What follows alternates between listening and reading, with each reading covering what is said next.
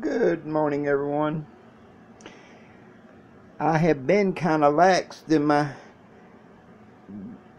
taking care of my plants through the summer with everything else that has been going on. And this morning in spraying or watering, I had noticed uh, getting quite a bit of bug sign on various plants and all. So I'm fixing to mix up some homemade bug spray and whenever I take the time to do it I want to try to get for everything. So I use the spearmint oil and the tea tree oil and some peppermint oil and the neem oil and my little sprayer. I've got some scalding hot water down in the bottom and I'll put some Dawn detergent in it and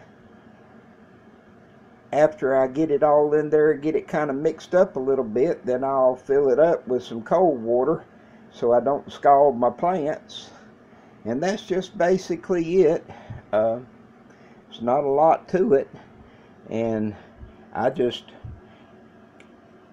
I'm not real particular. I just take the little dropper and get what I whatever it picks up is what I put in. I don't count drops and all that as a lot of people do and I have doing organics I have never burnt anything or damaged any of the plants that I can tell by putting too much on it and like I said if I'm going to take the time and the energy in putting it on, I want it to work, and so that's just me and the way I do it. And hope that's informative to everyone, and maybe it'll help somebody.